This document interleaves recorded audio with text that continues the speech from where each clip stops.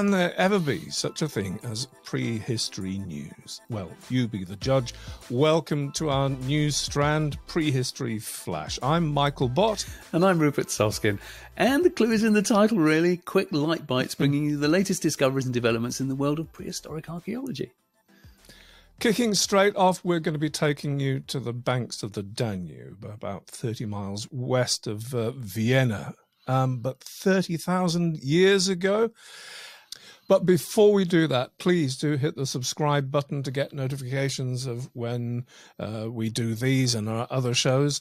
And if you're interested in supporting this channel, please do consider joining our Patreon community for even more content. You get direct access and uh, it helps us to produce the best prehistoric archaeology programs and films we can. I'll put the link up in the corner there for you. All right. Uh, what have we got this uh, this time? Then? Do you know this? This is a it, it's a painful discovery, um, uh, whilst being uh, quite lovely in its way. It's the earliest ever known burial of identical twins. Mm, mm. And uh, basically, uh, the burial itself is quite lavish, but we'll come to that in a minute. This is, as Michael said, it's in it's in the town of Krems, right in the middle of the town, actually. And this burial, it's two babies, obviously identical twins. Uh, one of them died just after childbirth, and mm. they've t- they've been able to see this from uh, from bones and teeth, really. But uh, uh, uh but one died just after uh, birth.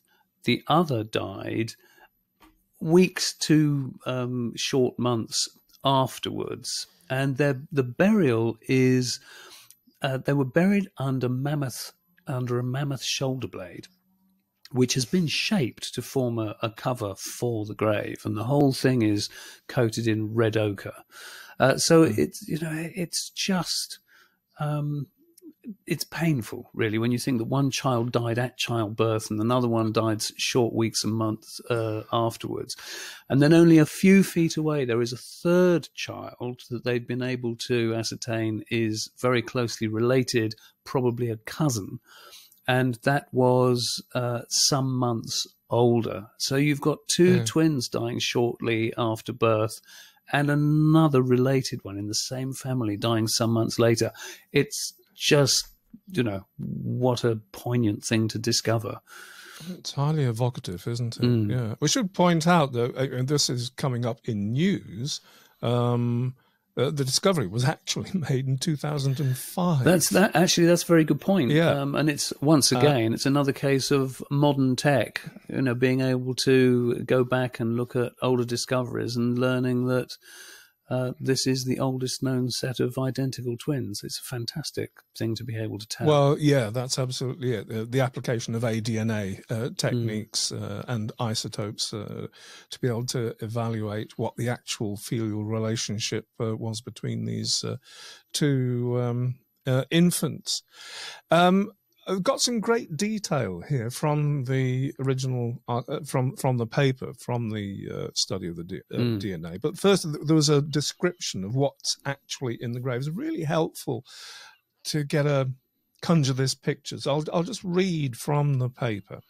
It says the oval-shaped grave pit of the double burial, measuring uh, 0.36 by 0.28 by 0.2 meters contained the skeletal remains of two infants, um, whether they'll be referred to as individual one and individual two. Um, I think individual one was the earlier of the burial. Each of the bodies was embedded in red ochre, and they were placed next to each other in flexed positions facing east, with their skulls pointing north.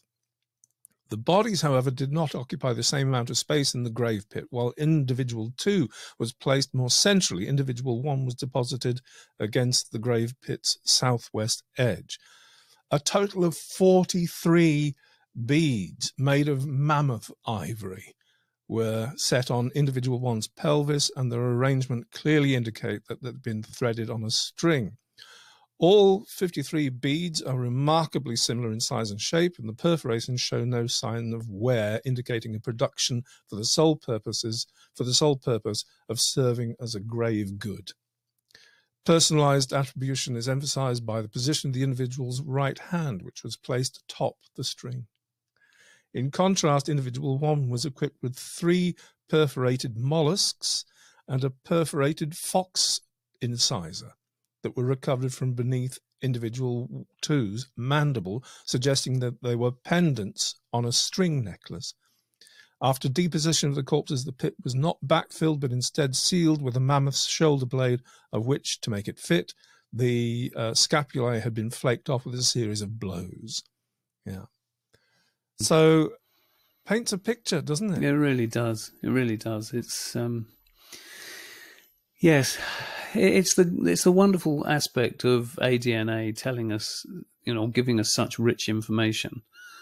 Uh, mm but at the same time, uh, actually giving you a, a closer glimpse at prehistoric trauma, really. I mean, what a dreadful hmm. time mm. for that family.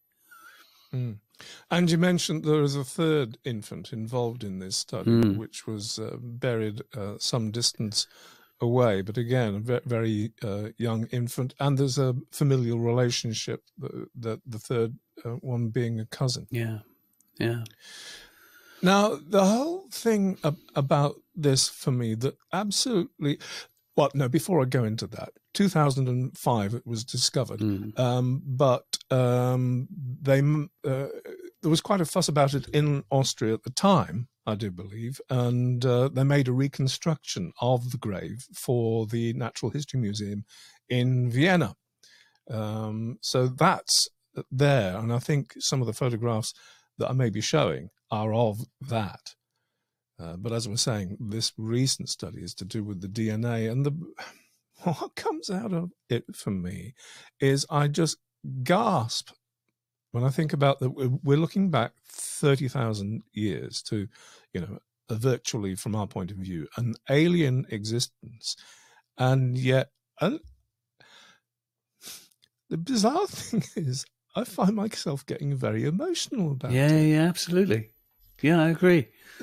It's it's absolutely bizarre um, that these two little tiny tots have been buried with such tenderness mm. and respect that you get such this sense of tragedy. Mm. Just boof from yeah. thirty thousand years ago. It's there. Yeah. Right, right in in your face. Yeah. You know the the love and care um, that has been uh, put into um, mm. laying these little ones to rest. But uh, again, the, it, it, Bonkers. the astonishing amount of information that comes out of the modern tech, uh, I find consistently enthralling. I mean, the fact they've been able to tell from this that uh, they they did isotope analysis as well, so they can tell uh, how they do this. I have no idea, but they can tell from the carbon, nitrogen, and barium in uh, in the tooth enamel that the twins were breastfed. Yes, and and the uh, the the cousin, this the one the the older burial, um, well, oh, the younger burial, the older child, uh, they could see from stress lines in the teeth that he it, it, implied that he had feeding difficulties, and from that they, it makes them wonder if the mother had a painful breast infection, mastitis, or something like that. Um, yeah. And and it's those sorts of things that mm. come from our ability now to do this extreme depth of chemical analysis. Uh, it's as you say. I mean the the just the the dreadfully painful time for that family yeah. uh, is yeah, suddenly yeah. made real all by chemical analysis. It's extraordinary, really. Yeah, yeah, yeah. Well, I, I think that's about it. I mean, mm. the other detail to come out of this, you know, is the ubiquity of uh, mammoth. Yes.